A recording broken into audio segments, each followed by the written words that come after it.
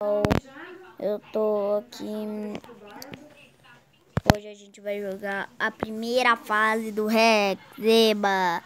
Daí eu vou postar outro vídeo ainda hoje. Lembrem, ainda vou postar um vídeo hoje. Vai ser um pouquinho demorado. Aí vamos, só vou pular os diálogos, porque os diálogos são chatos.